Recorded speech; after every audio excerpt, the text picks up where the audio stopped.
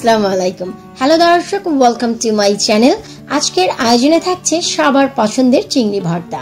কোনো রকম বাটাবাটি বা ব্লেন্ডারের ঝামেলা ছাড়াই মজাদার ভর্তা আমরা কীভাবে ঝটপটে করতে পারি, তাই আপনাদের সাথে শেয়ার করব। ভিডিওটি ভালো লাগলে যারা এখনও পর্যন্ত চ্যানেলটি সাবস্ক্রাইব করেননি প্লিজ সাবস্ক্রাইব করবেন। আর যারা করেছেন, তাদের অনেক ধন্যবাদ। চলুন শুরু করা যায় শুরুতে একটি প্যানে আমি নিয়ে নিচ্ছি ফোর টেবিল স্পুন পরিমাণ কুকিং অয়েল তেলটি গরম হয়ে আসলে এখানে আমি দিয়ে দিচ্ছি মেজারমেন্ট কাপের এক কাপ ছোট চিংড়ি মাছ। এবার গরম তেলে এই ছোট চিংড়িগুলো খুবই ভালো করে ক্রিস্পি করে ভেজে নেব।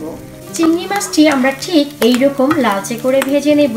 একটু সাবধানতা অবলম্বন করতে হবে, কারণ মাছগুলো যখনই পুরো ভাজা হয়ে যাবে, পপকর্নের মতন ফুটতে থাকবে।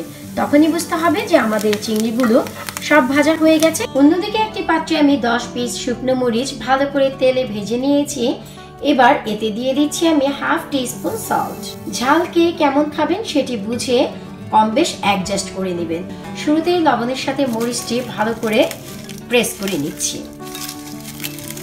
এরপর এখানে আমি দিয়ে দিচ্ছি পুরোপুরি মেজারমেন্ট কাপের এক কাপ কুচনো পেঁয়াজ।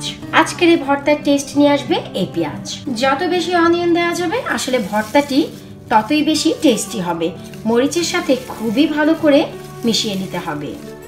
তবে হ্যাঁ আপনাদের যাদের কাছে গ্লোভসের অপশন নেই, তারা শুরুতে হাতে একটু সরিষার তেল মেখে এই কাজটি করতে পারেন, তবে আর হাতটি মোটেও চলবে না। হাফ কাপ পরিমাণ চট করে নেওয়া ফ্রেশ করিয়ান্ডার কুচি করে নেওয়া ধনিয়া পাতা। তার সাথে সাথে দিয়ে দিচ্ছি আমি ওয়ান টেবিল স্পুন পরিমাণ cooking oil one table spoon পরিমাণ মাস্টার্ড অয়েল সরিষার তেল। ভালো করে মিশিয়ে নিচ্ছি। ওয়াও, সরিষার তেলের গন্ধ অলরেডি আমার নাকে চলে এসেছে।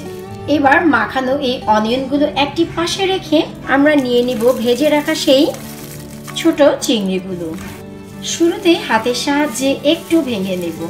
আর এটি এত বেশি ক্রিস্পি হয়ে গেছে যে হাতে ডলা দেওয়া মাত্রই একেবারে গুরু গুরু পাউডার হয়ে যাবে।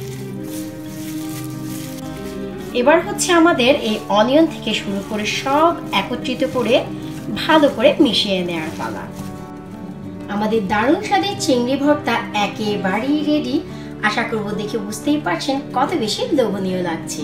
এবার ডেকোরেশনের জন্য আমি দিয়ে দিচ্ছি দুটো ভাজা শুকনো মরিচ।